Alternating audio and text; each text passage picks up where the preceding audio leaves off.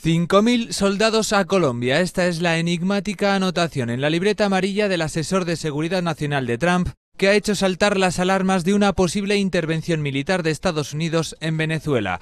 La imagen ha sido captada por las cámaras en un descuido durante la rueda de prensa donde Washington ha anunciado un paquete de sanciones a la petrolera estatal de Venezuela. Maduro ha dejado claro que no reconocerá a Guaidó ni convocará nuevas elecciones. Ahora es el momento de defender la democracia y la prosperidad en Venezuela. Con esta medida, que se anulará si el poder se transfiere a Guaidó, Estados Unidos aumenta aún más la presión al dejar a Maduro sin una fuente fundamental de ingresos de hasta 6.000 millones de euros. Y hago responsable a Donald Trump de cualquier violencia que pueda suceder en Venezuela. Será usted, señor presidente Donald Trump, responsable de esta política de cambio de régimen en Venezuela.